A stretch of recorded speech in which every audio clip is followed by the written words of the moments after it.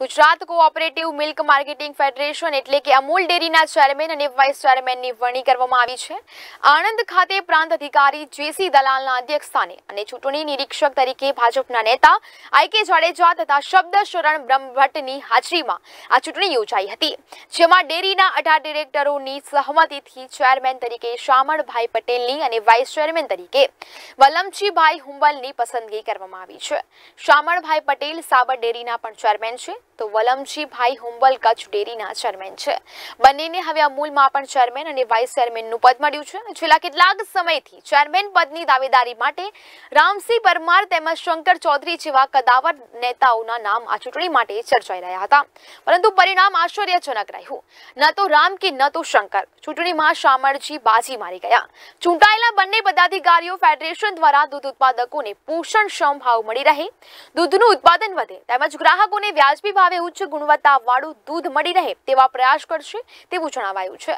તો વર્ષ બે હજાર સત્તરમાં કોંગ્રેસ છોડી ભાજપમાં જોડાયેલા રામસિંહ પરમારનું કદ વેતરી નાખીને તેમને હાંસિયામાં મૂકી દેવામાં આવ્યા હોય તેવી ચર્ચાએ જોર પકડ્યું છે.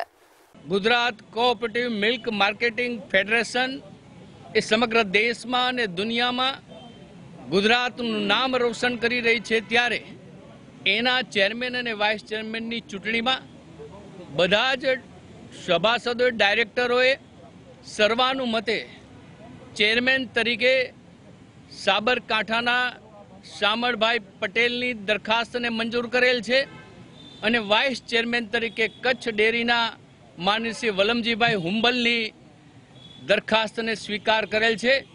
અમૂલ પેટર્નની અંદર જે મિલ્ક ફેડરેશન વર્ષોથી આ રીતે સંસ્થાની અંદર, ખૂબ વિશ્વની અંદર નામ છે, ભારત દેશની અંદર. એ એની જવાબદારી આજે અમને બોર્ડ નિયામક રૂપાણી સાહેબ અને પાર્ટીએ જે જવાબદારી સોંપી છે, એ અમારા ઉત્પાદકોને એનો લાભ પૂરેપૂરો અમે આપીશું. તરીકે નિમણૂકી પ્રદેશ ભાજપા અને સમગ્ર બોર્ડે જે અમારા ઉપર વિશ્વાસ રાખ્યો છે, એ વિશ્વાસને પરિપૂર્ણ કરવા માટે દૂધ ઉત્પાદકોને સારામાં સારા ભાવ મળે અને વપરાશકારોને એનો લાભ મળે એવી અમારી પ્રાથમિકતા રહેશે.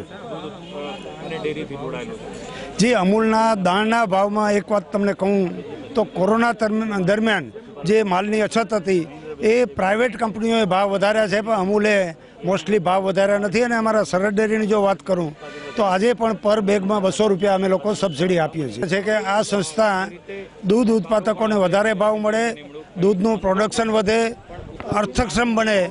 એની સાથે સાથે અમૂલની એ પણ જવાબદારી છે કે વપરાશકારોને ગુણવત્તાવાળું અને વ્યાજબી ભાવે દૂધ મળે એ અમારી પ્રથમ